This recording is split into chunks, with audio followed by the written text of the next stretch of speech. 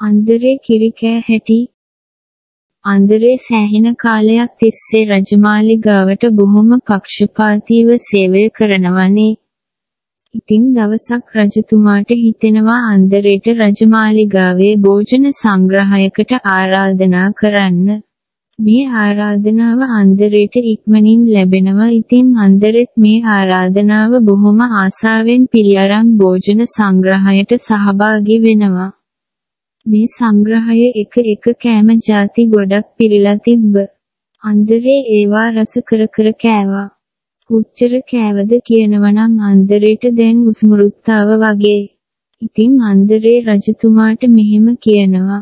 අන්නේ රජතුමනි මට නම් තව එක බත් ඇටයක්වත් කන්න බෑ. මගේ බඩ හොඳටම පිරීලා ආන්දරේට තව එක බත් ඇටයක්වත් කන්න බැරිද? අපරාධේ අතුරුපසට ලෑස්ති කරල තිබ්බේ කිරි පැණි නොවැ. අහා කිරි පැණීද? එහෙනම් මට කිරි පැණී නම් ටිකක් අනුභව කරන්න හැකි දේවයන් වහන්ස.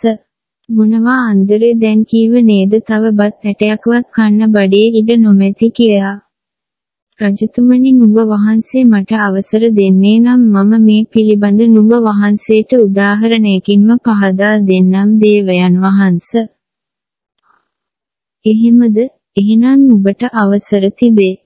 පින්නමුකෝ බලන්න ඔය උදාහරණේ එහෙනම් මෙහෙම අවසර ලැබුණ පසු අන්දරේ රජතුමාගෙන් තව ඉල්ලීමක් කළා.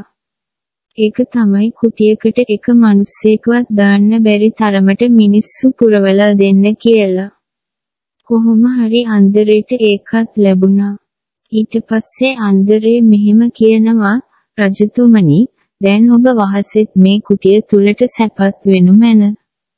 මොනවා අන්දරේ මේ කුටියට තව එකෙකුටවත් ඉඩ මා කෙසේද යන්නේ? නොමැත ඉතින් අනේ රජතුමනි මා ගැන විශ්වාසය තබා සැපත් වෙනු මැන.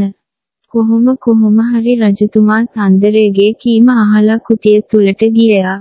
රජතුමා කුටිය තුලට එනව දැකපු මිනිස්සු බොහොම අමාරුවෙන් එකට එකට වෙලා රජතුමාට ඉඩ ලබා දුන්නා.